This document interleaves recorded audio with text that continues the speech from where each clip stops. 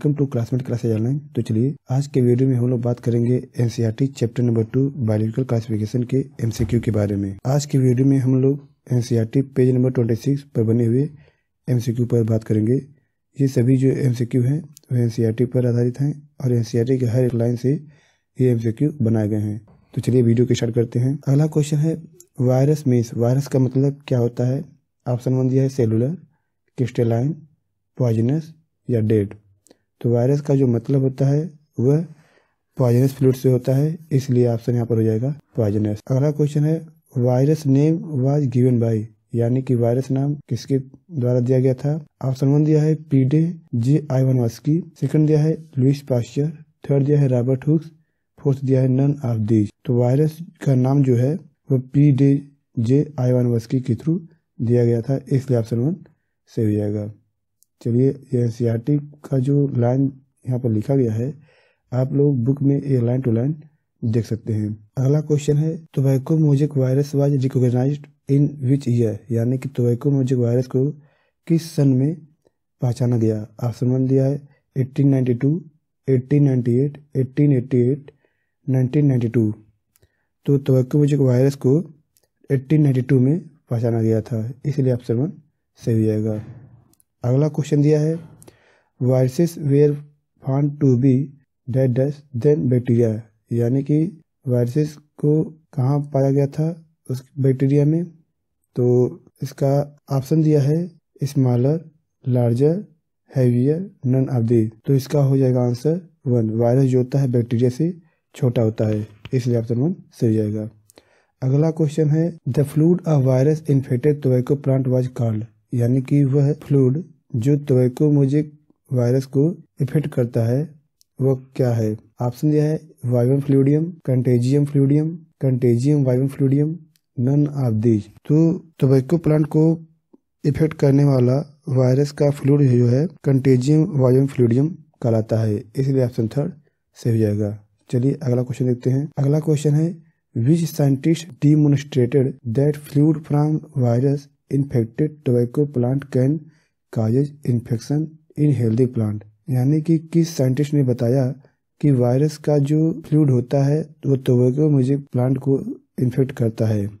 Option one दिया है I one वस्की second दिया है डब्ल्यू एम स्टेनले थर्ड दिया है लुइस पास्चर फोर्थ दिया है एम डब्ल्यू बेंजरिक। तो एम डब्ल्यू बेंजरिक ने सबसे पहले ये बताया था कि वायरस का जो फ्लूड होता है, वो टोबैको म्यूज़िक वायरस को इफ़ेक्ट करता है। इसलिए ऑप्शन फोर सही हो जाएगा। अगला क्वेश्चन दिया है which are the following is not true इनमें से कौन सही नहीं है?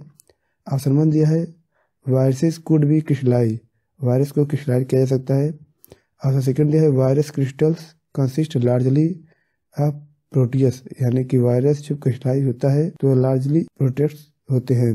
ऑप्शन थर्ड दिया है viruses are inert inside their specific host cell यानी कि वायरस जो होते हैं, वे स्पेसिफिक होस्ट सेल को इनर्ट करते हैं, अपने अंदर रखते हैं। ऑप्शन फोर दिया है viruses are obligate parasite virus होते हैं पैरासाइट भी हो सकते हैं। तो इसमें जो ऑप्शन गलत है, वह है third virus are inert inside their specific host cell इसमें गलत ऑप्शन को बताना है, इसलिए ऑप्शन थर्ड सही हो जाएगा। चलिए अगला क्वेश्चन देखते हैं। अगला क्वेश्चन है W M Stanley W M Stanley studied virus in the year, यानी कि डब्ल्यू एम स्टेनर ने किस सन में वायरस को स्टडी किया था? ऑप्शन वन दिया है 1945 सेकंड दिया है 1925 थर्ड 1935 फोर्थ 1955 तो डब्ल्यू एम स्टेशनर ने 1935 में वायरस का स्टडी किया था इसलिए ऑप्शन थर्ड सही हो जाएगा। अगला क्वेश्चन दिया है the infectious genetic material in viruses is यानी कि वायरस में इन्फेक्टियस जेनेटिक मटेरियल क्या होता है? ऑप्शन वन दिया है आरएनए सेकंड दिया है डीएनए थर्ड दिया है आइदर वन या फोर्थ दिया है नन ऑफ़ दिस तो वायरस में जो इन्फेक्टेड जेनेटिक मटेरियल होता है, वह आर आरएनए और डीएनए कोई भी हो सकता है। इसलिए ऑप्शन थर्ड सही हो जाएगा। चलिए अगला क्वेश्चन देखते हैं। Genetic material in bacteriophage is यानी कि बैक्टीरिया फ़ेज़ का जेनेटिक मटेरियल क्या है? ऑप्शन वन दिया है S S R N A second दिया है D S R N A third दिया है S S D N A fourth दिया है D S D N A तो बैक्टीरिया फ़ेज़ में जो जेनेटिक मटेरियल होता है, वह आपका D S D N A होता है। इसलिए ऑप्शन फोर सही हो जाएगा। अगला क्वेश्चन है the protein coat in virus is called यानी कि वायरस में जो प्रोटीन कोट होता है, वह क्या कहलाता है? ऑप्शन वन दिया है पेलिकल सेकंड दिया है कोनेडिया थर्ड दिया है कैप्सिड फोर्थ दिया है सीट तो वायरस का जो प्रोटीन का कोट होता है, वह आपका कैस्पिड कहलाता है। इसलिए कैप्सिड ऑप्शन सही आएगा अगला क्वेश्चन दिया है which are the following is a viral disease यानी कि इनमें से कौन सा वायरल डिज़ीज़ है? तो इसका आंसर हो जाएगा मम्स एक वायरल डिज़ीज़ है smallpox viral viral disease है हार्पिस जो है वायरल डिज़ीज़ है एड्स जो है वायरल डिज़ीज़ है इन्फ्लुएंजा वायरल डिज़ीज़ है। इसलिए ऑप्शन सेकंड सही हो जाएगा। चलिए अगला क्वेश्चन देखते हैं। अगला क्वेश्चन है which are the following are symptoms seen on plant leaf due to viral infection यानी कि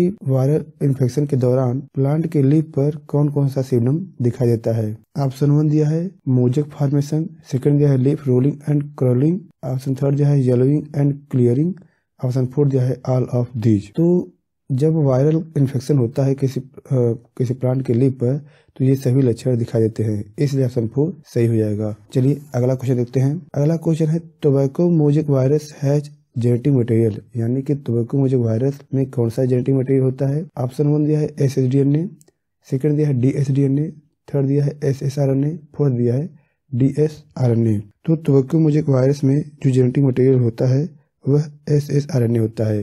इसलिए ऑप्शन थर्ड सही हो जाएगा। तो उम्मीद है आपको वीडियो पसंद आई होगी। अगर आपको वीडियो पसंद आया हो तो प्लीज़ इसे लाइक और सब्सक्राइब ज़रूर करें। मिलते हैं अगली वीडियो में NCERT page number twenty seven पर। तब तक के लिए धन्यवाद। आपका दिन शुभ रहे।